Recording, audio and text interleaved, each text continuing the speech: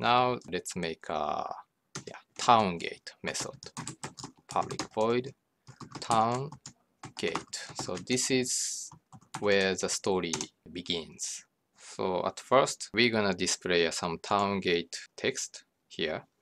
So UI dot uh, main text area set text. You are at the gate of the town. Uh, line break. A guard is standing in front of you. Line break, line break.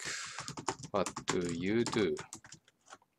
And also we put the text on these buttons as well. Set text. Uh, button one is talk to the guard. To set text uh, attack the guard. And uh, choice three uh, leave. Choice four uh, nothing. So I think we can add this town-gate method after this uh, title to town.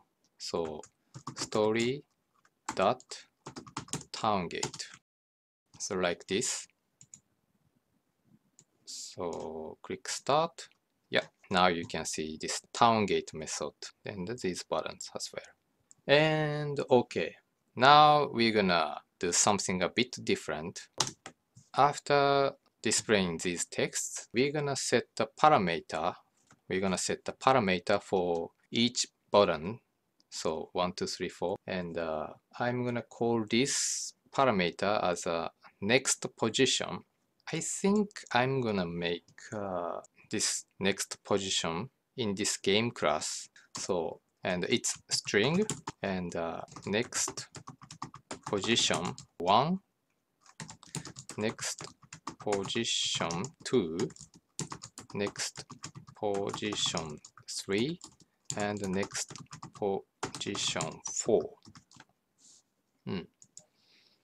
and so how to use these strings? So here we need to access game class. So first type like this game dot and the next position 1 equal talk guard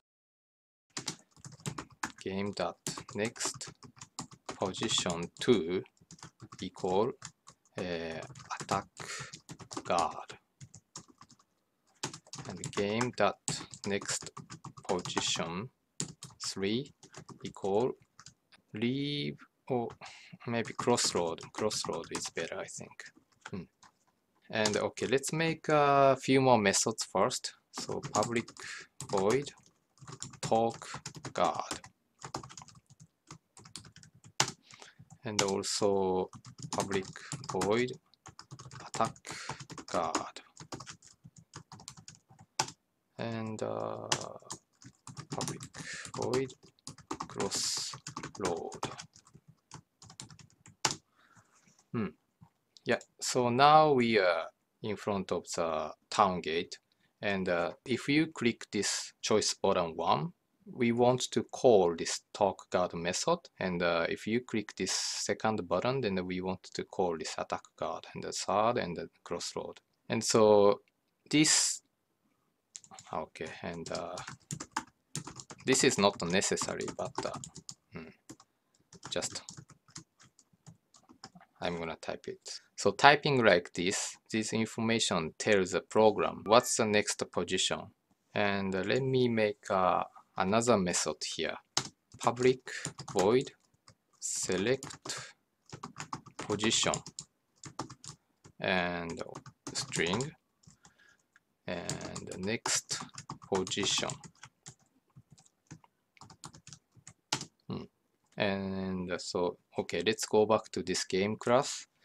And now inside of this your choice first choice one bottom one story dot uh, select position. And here we're gonna use this next position one, this one. And for this button two, story dot selected. What? Select select position. Hmm. position. And next position two and uh, select position. Next position 3 uh, okay. Story not story. Story select position. And next position 4 mm. and this choice handler is done. This is everything. And I think this game class is also done probably. Yeah let's see. And so anyway this is definitely done switch statement. So okay let me do a little in, in inside of this uh, select position. And uh, here we make another switch statement. And the parameter is next position and uh, case talk God. Then talk God.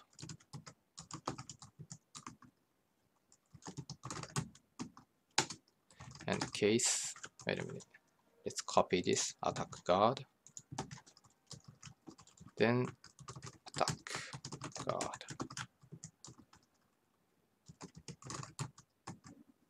and case. Load. Uh, cross load. Wait.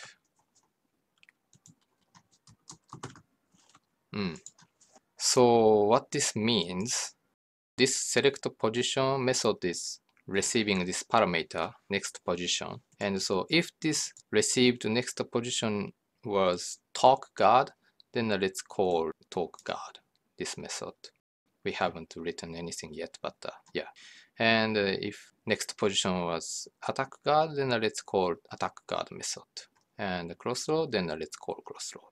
And inside of this town gate, so we've already put some parameter or yeah, text into this each next position. And if you click this bottom one, then uh, it's gonna use this next position one. And if you click 2 and it's going to use next position 2 and uh, send this information to this select position. Mm.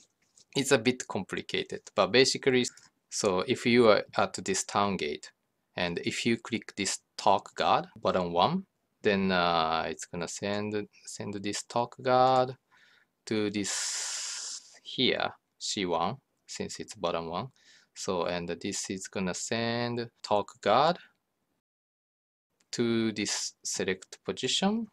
Uh, where is it? Here, talk guard. It receives talk guard. So this one, and it's gonna call this method. So that's how it works. Last time we handled this everything in this handler method. So that's why switch tree becomes very long.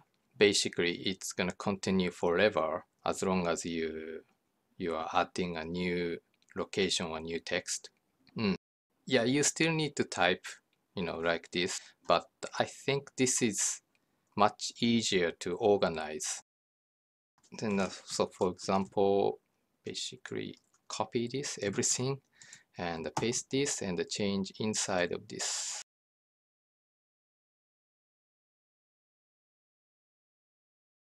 And uh, next position is a town gate. And no nothing for this bottom two three four. This means if you click bottom one then uh, it's gonna call uh, this town gate method. Then uh, we should add this town gate.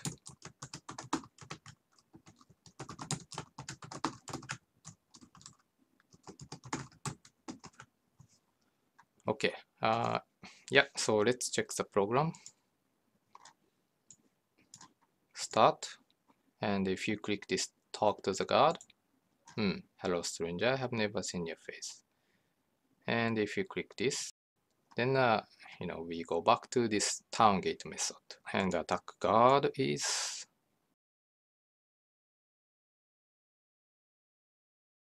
so this time we receive the damage so we're gonna use this player HP uh, equal player HP minus 3 and also use this uh, HP number label and set text uh, plus player at HP hmm.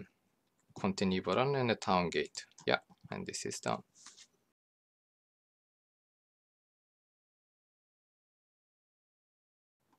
and okay so this time so we are at the crossroad and uh, okay next position is uh, north uh, east south no not south sorry.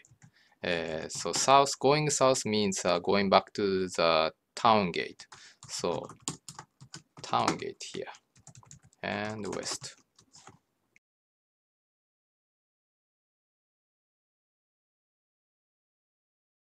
and so your HP recovered player dot HP call player dot HP plus 2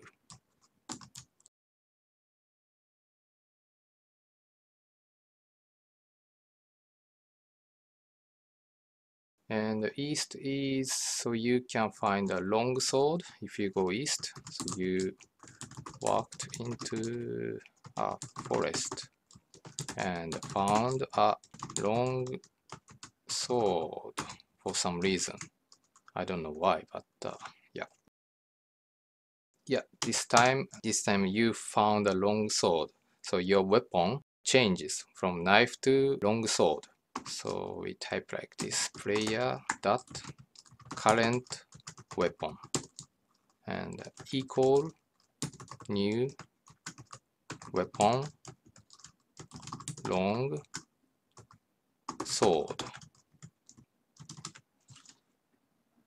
And import this. So just like we did at the beginning of the game so this default setup player dot current weapon equal new weapon knife. Hmm. so this time not knife but long sword.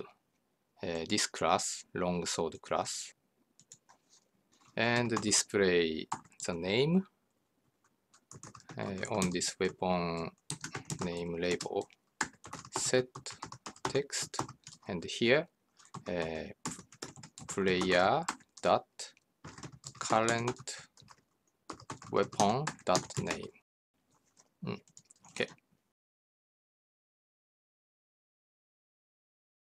And so if you go west then you encounter a monster.